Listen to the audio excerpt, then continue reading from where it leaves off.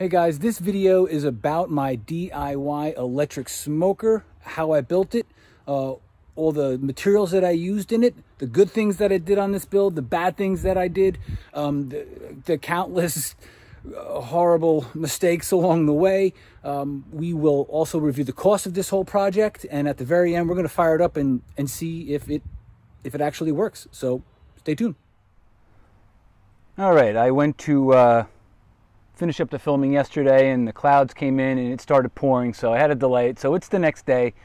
We're here and there it is. There's the uh, there's the smoker, and uh, I just wanted to kind of take a step back and, and briefly explain why I decided to do this. Uh, about a year ago, I bought a, a Masterbuilt electric smoker, and uh, it's just a piece of garbage. It, it barely lasted. Um, I'm not looking to do anything crazy with this, but the thermostat went, uh, it, just everything. The, the control panel on top went. It was just one train wreck after another, and I got I got kind of fed up after ruining a couple nice pieces of meat. It's just enough's enough. So I went onto YouTube to see if I can maybe fix it myself because the only thing worse than the the, the Masterbuilt smoker was is the customer service, and it was just god awful. Uh, they just never got back to me. So I went onto YouTube to try to find out ways to fix it. And I stumbled across a lot of videos of, of people doing builds like this. And uh, I figured I'd give it a whirl. Uh, so I kind of grabbed, pulled and grabbed from a lot of different videos, but I do want to give a little bit of a shout out to Mind of Many, uh, which is where I, I, got a lot of uh, the, the basics was, uh, was from the video that the Mind of Man, Many did. And I'll put a, a link in the description uh, to that, but he put it, you know, six or seven years ago. But that's kind of where I drew my main influence from. So, um, so I'm not very handy either. Uh, so, but this, again, all in all, this build was was relatively easy. Uh, and on the other side of it, I'm I'm not a pit master either. My my knowledge of doing this type of smoking is, is, is very limited, but it is something that it does intrigue me. So again, uh, it's during the pandemic. I had some time to kill, so I, I definitely figured that uh, I'd, I'd, throw something together, and, and, I, and, this is what I did. Uh, I'm not looking for competition smokes. I'm not even looking for this thing to get over 225 degrees. Uh, I am an avid bow hunter, so I'm looking to do some venison summer sausage. You know, I'm not going above 170 on a lot of these smokes. So um, that's what that's what this that's what this is for. So the the basic outside dimensions of this, the outside it's 23 inches by 22 and a half inches, um, and it's 40 inches high. I don't know how the heck that happened. Uh, the size got away on me a little, a little bit. So uh, I know I wanted it a little bit bigger than the Masterbuilt, um, and it just it got way bigger than the Masterbuilt But I know uh, when I go to do those summer sausages, I'm going to be able to do 15, 20 pounds inside of this with, without any problem. So um, that's great. On the inside, the cooking dimensions, it's it's 19 inches by 21 inches, and and and 27 inches high. And then you'll see down on the the bottom drawer. Um, it's it's open on the inside, but that, that bottom drawer is so I can get to the, the hot plates or the, the charcoal um, that I'll be burning uh, as, a, as a fuel source on the, on the inside. So the basic build of this is untreated tongue and groove pine. I, I bought eight foot increments. The, the one by six tongue and groove pines, they were eight foot uh, increments and I got eight of them. Um, and the, the skeleton on the inside the, is two by threes. So, and I'll open it up, but it's, it's two by three by eights, and I picked up three of them. The whole thing itself is, is held together by stainless steel screws. Um, I have one and five eighths inch screws and two and a half inch screws. I bought a pound each of them.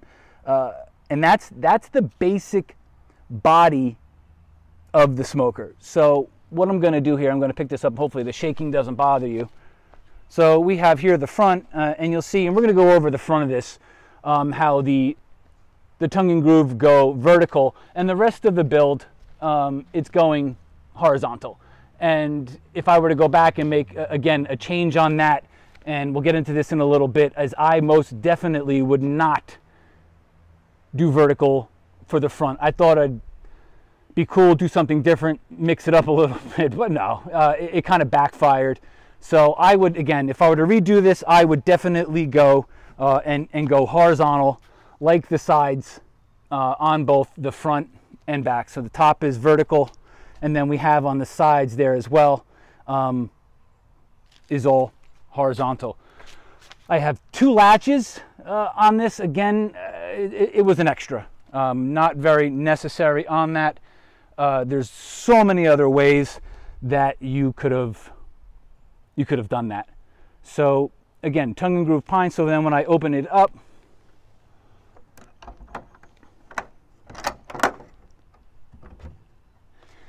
here we have the inside of the build. Um, again, the guts of it uh, are the pine, you can see. And then I have over here, these are these are two by threes that I, I ripped in half. Uh, not again, not a difficult thing. Um, and when I was placing them, what I did is I took a, a shim and I put it in between. So when I'm sliding this out, um, it, will hold. Um, again, probably overkill. I, I, completely get that. But again, um, that's, that's just what it is. Uh, the, the floor of this, and I don't know why, I also did with the two by three, the two by threes. The two by threes are running directly across it. Um, you could probably get away with the the, uh, the tongue and groove pine. I, I, think as I started build this, I mean this thing is pretty heavy. Uh, again, uh, not the greatest of builds, and I was just kind of going with it. But the floor, again, things started getting pretty heavy. So I also have down on the bottom, again, it's all open. Um, the whole thing is open, but that's just a way where I can open up and, and put more wood chips uh, onto the hot plate uh, to get it to continue to continue to smoke without uh, all of the smoke pouring out. Uh, you will also see that I bought uh, gasket. The name of the company, I believe, is, is LavaLock. Um, and that's just to kind of seal it up, which, again, you're not going to need. Uh, it was one of those things that was most definitely overkill. Um, I did it on both sides. It was a 15 foot strip. Uh, I don't. I have the prices. I think off off the top of my head, uh, it was about 14 15 dollars for 15 feet. Um, not bad, but it's it's good for me there because what I noticed with the vertical the vertical slots on the door going up and down is that when I clamp it shut, the vertical it gives a little bit. It bends because of the force of the clamp. So I got to loosen the clamp when I lock it down. Um, I don't think any smoke's going to come out. If it is, it will be minimal, but uh, we will most most definitely uh, find out how that goes. Uh, lastly, um, getting in is the hinges. A couple of the extra things where I probably want a little bit overkill on would be the the hinges. Uh, it was it was problematic from the door. I just I'm a dummy. I, I had uh, four trips to Home Depot to get these stupid hinges, and I, and I don't know what I did or what I was thinking. I just couldn't figure out um, how to get this door on. Uh, and I, again, the, I wanted to keep as much out of the smoke, smoke box as possible. So I wanted the hinges on the outside and not on the inside. I don't know if that's going to make a big of a deal, but just when I was kind of building it, uh, I wanted hinges on the outside. Um, so there's six of them four trips to Home Depot, and me just being a dummy. Uh, we also have the the thermometer there. I'll, I'll, put the. I mean, that was about fourteen dollars. Again, not necessary. Uh, I don't know why I kind of decided to do that, but I, I, think it looks cool. Looks cool when you're looking at it. Um, yeah. Uh, so again, some of the problems that I can, you know, mistakes that I made. Again, the floor of it having the the, the two by three floor, not the greatest of ideas. Um, my latches, all right, beat me up all you want. I deserve it. And then, uh, again, it just, I'm not a master carpenter. The two by three that I bought was warped, so you'll see how it bows out. No smoke is going to leak out, but uh, nonetheless, it's there. Uh, bad craftsmanship, but that's pretty much it. The only thing I want to add on this and open this back up is, and, and, probably where you can save some money, is these grates. Uh, I didn't have grates, um, and I, I, I, for whatever reason, I truly wasn't thinking about it when I was making the frame of all this, um, and this was kind of all I was left to. You could probably find significantly better ways to put grates into this thing. Uh, I know it drove the cost up on me. I bought two of these. Um, and what they are here I have one that's not opened yet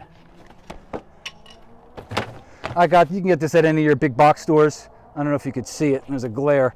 Um, but it's expanded metal three inches by 24 by 24 I didn't need that uh, again the inside is only 19 or 18 by whatever I said.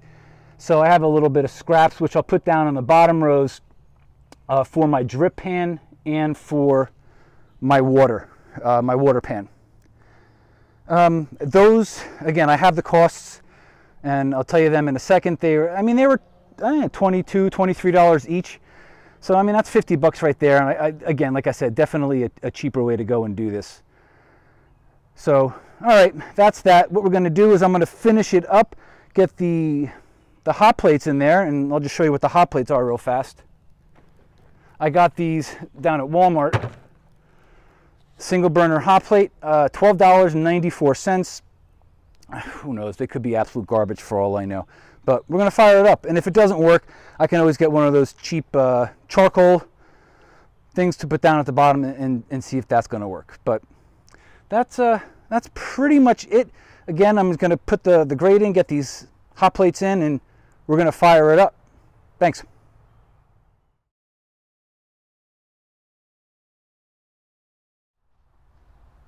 All right, we've been we've been going for almost four hours now, and uh, I, know it took a little finagling, but I got it. Um, I got it as high as uh, out of the gates. I mean, I uh, obviously I I hit the one burner on full, and it, you know with the the chips on it, and it really kind of took off. Uh, it really smoked up and it got really hot, got as high as 265, 270. And, and again, over the course of about an hour, uh, I finagled around with the two different burners.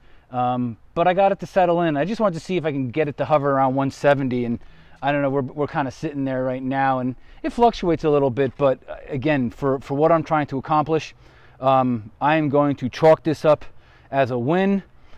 Rare win for the kid. So, um, I don't know. Thanks for, for watching my video. This is my first video, so I'd appreciate it if you hit that like button. And any questions or comments, please put them down in the, in the comments section. And I'm going to list out uh, the costs uh, in the description. I'm going to list out the basic build and then the extra stuff that I bought uh, will be separate. But there's no reason you can't do this uh, for 100 bucks, even probably under 100 bucks uh, without any problem. So, all right, thanks for watching.